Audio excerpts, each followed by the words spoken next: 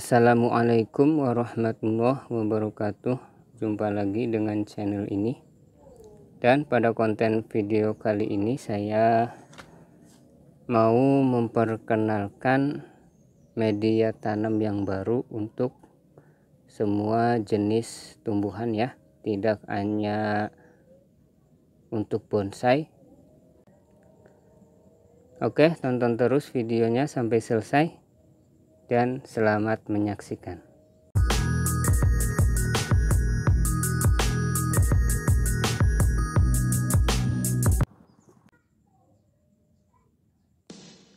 Oke sahabat eh, di sini saya sudah menyediakan eh, media tanam untuk semua jenis tumbuhan ya.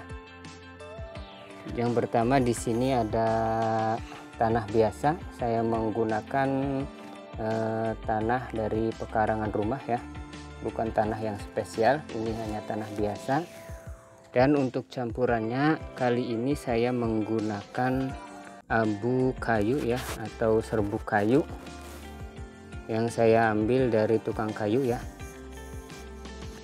Cara mengaplikasinya cukup saja kita campurkan ya perbandingannya satu banding satu ya antara tanah dan e, serbuk kayunya atau abu kayunya.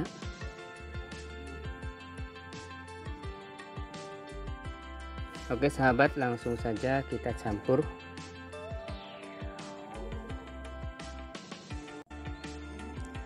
Oh ya bagi sahabat yang menyukai konten video ini silahkan like dan mohon dukungannya juga dengan subscribe channel ini ya. Dan klik juga tanda loncengnya agar teman-teman selalu dapat pemberitahuan konten-konten terbaru dari channel ini.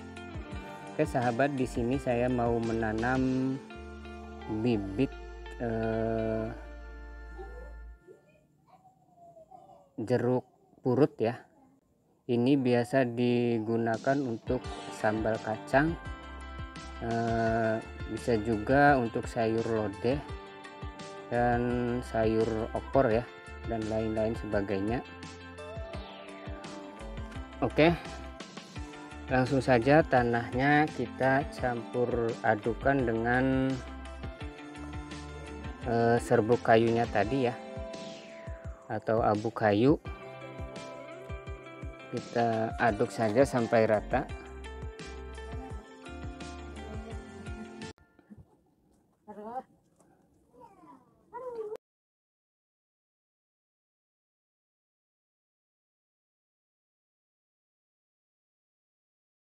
rata seperti ini langsung saja kita masukkan ke dalam pot ya.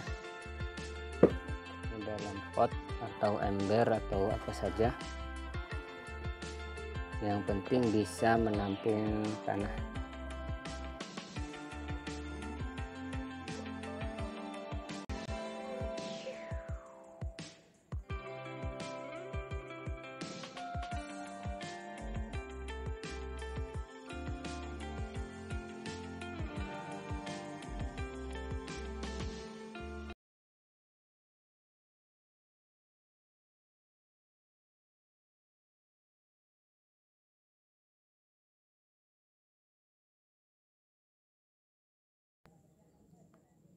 atur dulu akarnya. Depan belakang samping kanan kiri ya.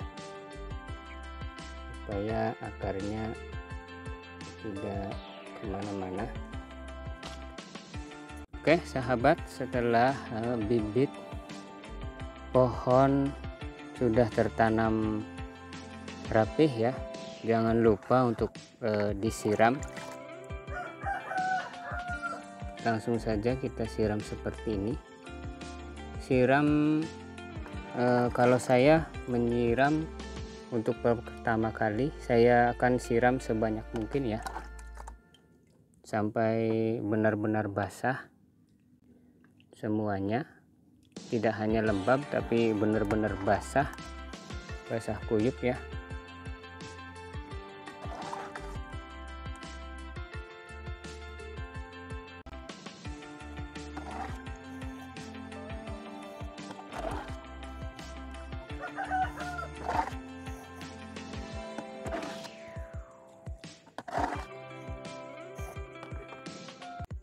Oke sahabat setelah disiram ini khususnya untuk musim hujan ya. Untuk musim hujan seperti ini biasanya saya taruh langsung saja saya taruh di luar ya. Saya tidak taruh di tempat yang teduh tapi saya taruh di luar karena ini musim hujan jadi tidak akan membahayakan bagi pohon ya. Walaupun dia ditaruh di luar. Karena udara musim hujan itu cukup sejuk ya sahabat ya. Biarkan saja di luar terkena air hujan ya. Oke sekian dulu untuk video kali ini ya sahabat ya e, mudah-mudahan ini bisa bermanfaat untuk e, sobat semua. Kurang dan lebihnya e, saya mohon maaf.